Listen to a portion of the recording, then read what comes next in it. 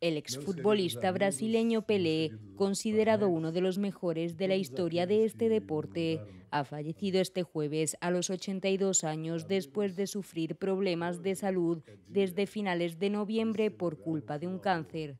Según han publicado en la red social del brasileño, la inspiración y el amor marcaron el camino de Pelé, que hoy ha fallecido en paz.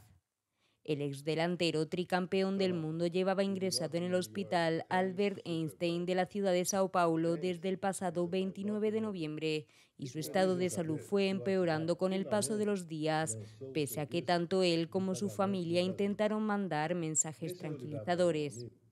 O Rey, como era conocido, tuvo que pasar por el quirófano en septiembre de 2021 para que le extirpasen un tumor en el colon y desde entonces había tenido que visitar de manera regular a sus médicos para recibir quimioterapia y tener más de un ingreso en cuidados intensivos.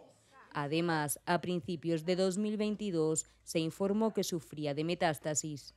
A pesar de los rumores, el exjugador brasileño no ha podido recibir el alta y el día 21 de diciembre se comunicó que había sufrido un empeoramiento en su estado de salud. Finalmente, Pelé no ha podido superar esta delicada situación y ha fallecido este jueves, dejando huérfano al fútbol de uno de sus mayores mitos y leyendas.